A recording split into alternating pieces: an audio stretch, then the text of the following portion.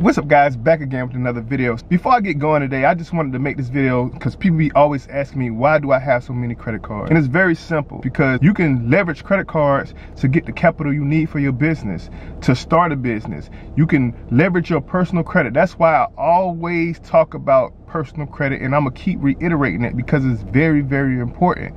And it's the way of America. You know, it's the rules that America put into place for people to get rich.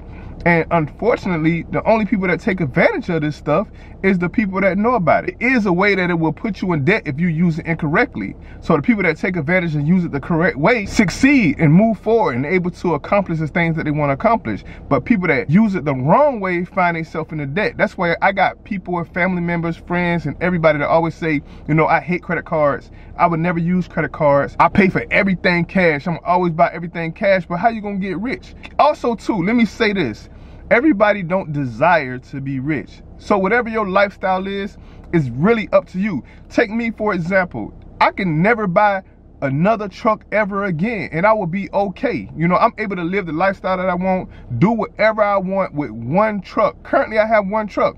And sometimes I ask myself, why would I even, you know, want to do it? Why would I even want to even you know, expand or take it to the next level or, you know, scale up. And it's because why not? You know, why not when everything's in place for me to take advantage of it by using credit cards? Because America has put a set aside, made these rules to where banks loan you money at 0% if you do it correctly. With credit cards, for example, you have introductory offers, right? Some of these banks offer you 0% for 12 months, 15 months, 18 months. You got 18 months 0% money that you can liquidate that credit card and purchase things. The reason why you want to have multiple credit cards because if you got multiple credit cards with multiple different businesses, you don't have to max out one credit card. If you got $20,000 limit on a credit card and you're using five from that one, you got a $10,000 credit limit on another card, you're using seven from that one, or whatever the case may be, you take all of this money and then you purchase whatever you want at 0%. And then to take it a step further, you know, if you needed more time, you can always start another credit card, open another credit card and have a 0% offer and do a balance transfer for the money that you want wasn't able to pay off in that year. So you can repeat this cycle and there's so much strategies out there that you can use to your advantage to use and borrow money at 0%.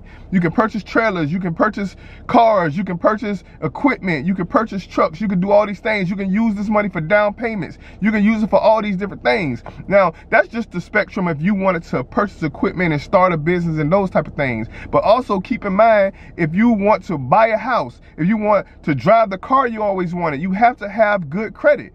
Or you have to work hard day after day, night after night, save up all your money. Now you're going to give these folks all your capital, cash, to buy your dream car that you don't work 15 years and saved up for 15 years. Now you're going to give them all your capital. When a lot of these car companies, now I'm talking about cars, for example, because maybe you don't want to become a millionaire. Maybe you don't want these things. So let's say, for example, you want to buy your dream car because it's what you want. And I am a person that believe in this world, you should be able to buy whatever it is that you want. You know, if it's something that you want, you should be able to buy it. You know, you can buy whatever it is you want. So if it's that dream car that you want, you know, a lot of these car companies, they got 0% interest for 60 months, 72 months, 0% interest, 36 months, whatever the case may be. If your credit's good, why give them your $30,000 cash when they say, hey, come finance the car and you don't have to pay any interest. You can pay every month for the car and you won't pay nothing extra. Meanwhile, you can go to work every day, you still got your 30,000 in the bank and you didn't use none of your own money to buy that car. The job that you're working is now paying for that car. And it's work with the same with business. That's why personally, you should use this as an opportunity with credit cards and business credit and things like that to purchase assets, purchase things that are going to make money. That's why I talk about credit so much on this channel because if you take credit and put it with the trucking industry, a billion dollar industry, if you take something that you can leverage credit and match it with a billion dollar industry, that's how you're gonna become rich regardless. But that being said, that's why I have so many credit cards because I done built a foundation by using my personal credit to leverage business credit. Business credit because with big banks, most of them are going to hard pull you. Don't get me wrong, I like credit cards that do a soft pull and they give you a credit card just by doing a soft pull on your credit. But let's be real a lot of these big banks, they're gonna do a hard pull. They wanna do a hard pull and they wanna check your credit. But at the end of the day, it's just an inquiry. Rolls off in two years. Once they do that hard pull, now they gave me a business card, business credit, business loan that don't report to my personal credit. It only reports to my business credit. So now what I can do is I can go to another bank do the same thing. When they pull my credit, they're not going to see that loan that I have. They're not going to see that credit card that I have. You get what I'm saying? Do you not see the power in that? That I can buy a truck one day go to another bank, put in the application, they run my credit and they can see my credit, but they don't see a truck that I just bought. If you can't see the power in that, then you know, I can't do nothing for you. If you don't understand that, then you really just don't understand what's going on when it comes to this business. You don't really understand how to leverage your personal credit to get rich. I've showed you guys my personal credit score. You can go back with videos and videos I've showed you multiple times. My own personal credit score, I showed it to you guys. I built that over time, you know, and that's why I'm telling you you should start right now. If something wrong with your personal credit,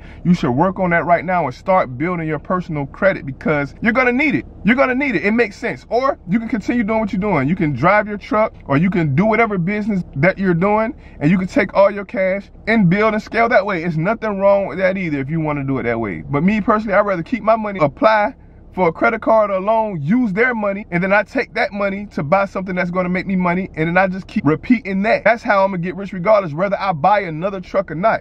And I showed you guys how I started a brand new business. Using my personal credit, I already got three business credit cards on that business, and I haven't even opened a bank account yet. Since then, I have opened a business bank account for this business.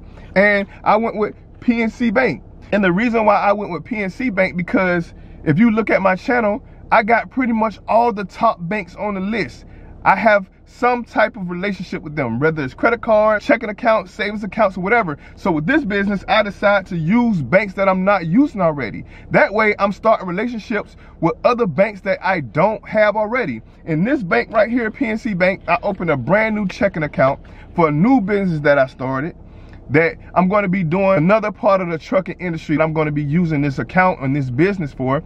It's a part of the trucking industry. It's not dealing with me and trucks directly, but it is dealing with the trucking industry and it's a brand new business. And they gave me a credit card for this business as well. So now I have four business credit card that's going to be reporting to this brand new business that's not even a month old yet. And I'm already building business credit on it. So when I go to get funding for this business, purchase equipment for this business, I don't have to use my personal money.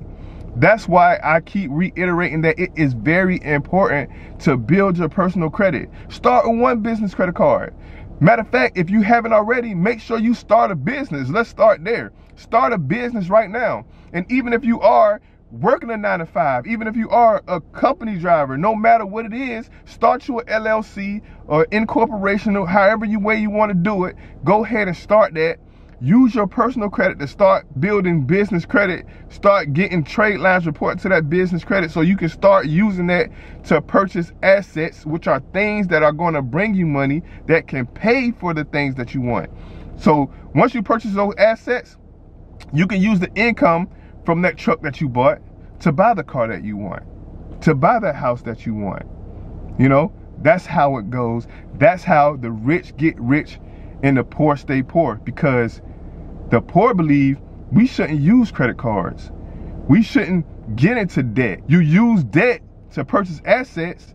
Those assets would pay for the debt, keep the profit, and purchase the liabilities that you want, like cars and motorcycles and things like that. You know, the toys that you want, the trips you want to go on, which a lot of that stuff can be tax deductions as well. I'm gonna leave it off with this. So, for example, let's say I want to purchase a truck and I go to the bank and I get a loan for that truck. The truck is 30,000. My payments is $800 a month. Do you not know I take that truck, put it on the road, it's going to make money, right?